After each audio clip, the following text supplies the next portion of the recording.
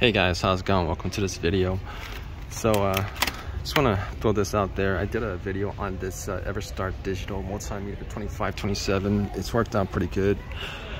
Um, I like Walmart's electrical system system section. Um, they're pretty decent. Anyway, um, doing a video on this uh, Everstart C Cat 3 300 volt digital multimeter it's ideal for automotive, home, or shop digital readout for improved accuracy. Includes 1.5 volt, 9 volt um, AC/DC voltage, DC current resistance. First of all, I like the fact that it's small.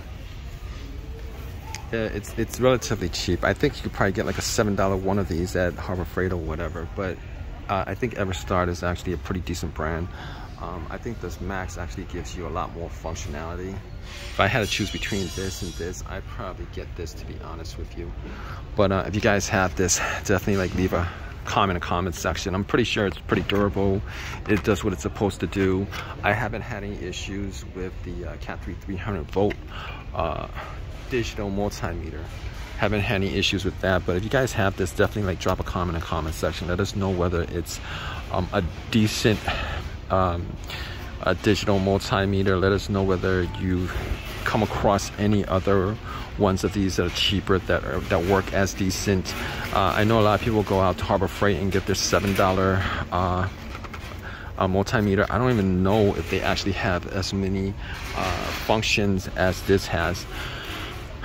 But uh, to be honest with you, 1652 uh, you know the, the, you know it's not really a huge jump in price as far as getting something that's a little bit better than I don't want to knock Harbor Freight stuff. I've had Harbor Freight stuff. They're pretty decent. I haven't had any issues with them. Well, you know, no, no. I mean, let me take, let me run that back.